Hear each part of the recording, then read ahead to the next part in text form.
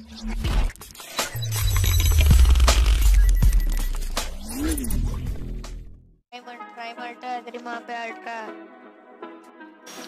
Guys तो इस video में हम बात करेंगे कि हम कैसे एस या कॉन्करर जैसी बड़ी लीग इजली जा सकते हैं। तो उसके लिए आपको सबसे पहले गाड़ी उठानी है और आपको मैप की लाइन से बहुत दूर जाना है। बहुत दूर। बहुत दूर मतलब ऐसी जगह जहाँ कोई ना आता हो। तो मैं हॉस्पिटल आ चुका हूँ, जो कि लाइन से बहुत दूर थी। तो सेफ़ खेलने में आपकी केडी का फ़र्क पड़ सकता है। अगर बॉट आ गए तो आपकी किस्मत अच्छी है। मेरी तो बिल्कुल नहीं है, क्योंकि एक भी बॉट नहीं फंसा मुझे। तो यहाँ पे छोटी मोटी लूट करना है आपको, और जितनी हो सके, जितनी हो सके उतनी फ़र्स्ट एड मेडिकेट और बैंडेजेस उठानी है। जी हाँ गाइस जितनी हो सके उतनी। मैं आपको बताऊँगा बाद में उसका क्या करना है।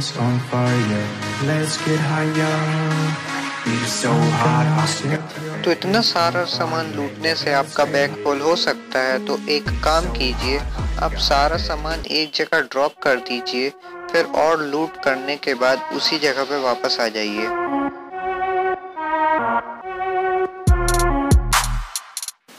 मैं आपको बताता हूँ कि इतना सब सामान करने के बाद आपको क्या करना है?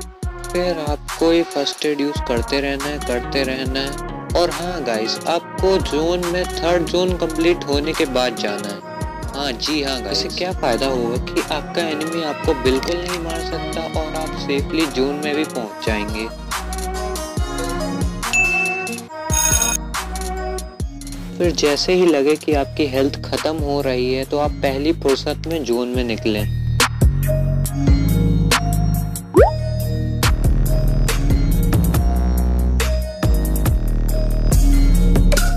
और हाँ गाइस गाड़ी बिल्कुल वेरी केयरफुली ड्राइव करें, वरना ये हो सकता है।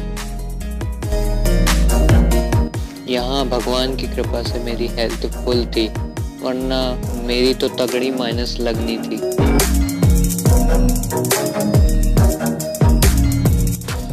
फिर जैसे ही आपको लगे कि आपका मैच माइनस नहीं हो सकता तो आप फिर फाइट ले सकते हैं। तो मैंने यहाँ पे देखा कि दो स्क्वाड लड़ रही थी और एक स्क्वाड का खात्मा हो गया और लास्ट में एक स्क्वाड पूरी बच जाती है।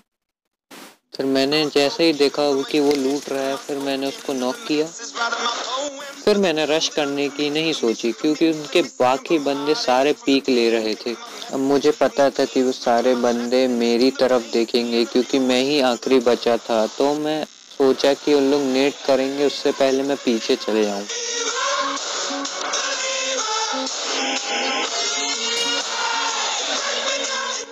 अब स्क्वाड वाले तो लालची होते ही हैं।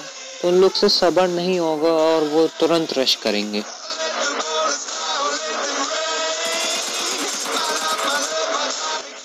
और उनका रश करना मेरा फ़ायदा। फिर मैंने दूसरे बंदे की लेफ़्ट साइड से फुट स्टेप सुनी।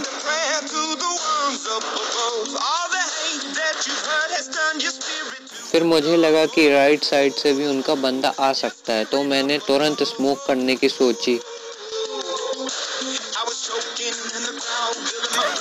मगर मैं जरा सा लेट हो गया और चिकन हाथ से चला गया।